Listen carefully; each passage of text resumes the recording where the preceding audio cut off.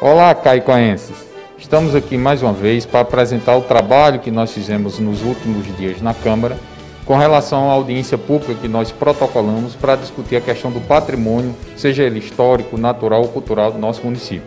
Protocolamos essa audiência pública que foi aprovada por unanimidade e hoje nós estaremos fazendo uma audiência pública às 19 horas, uma audiência pública híbrida, em que todos terão acesso a essa audiência através das redes sociais da Câmara. Então peço a todos que tenham interesse na temática, que possam participar, possam colocar perguntas através do Facebook e nós estaremos ali junto com a nossa equipe para pegar as demandas, pegar as questões e fazer essas questões durante a audiência pública aos profissionais que vão estar presentes. São especialistas da área, são instituições que trabalham com patrimônio público e a audiência pública ela começa às 19 horas. Então conto com a presença de todos e estaremos sempre à disposição.